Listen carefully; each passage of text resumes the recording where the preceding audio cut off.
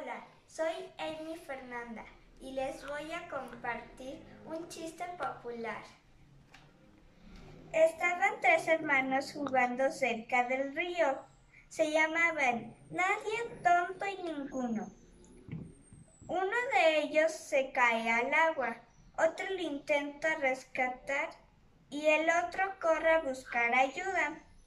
Encuentra un policía y grita, ¡Auxilio, auxilio! Nadie se cayó al agua y ninguno lo está ayudando.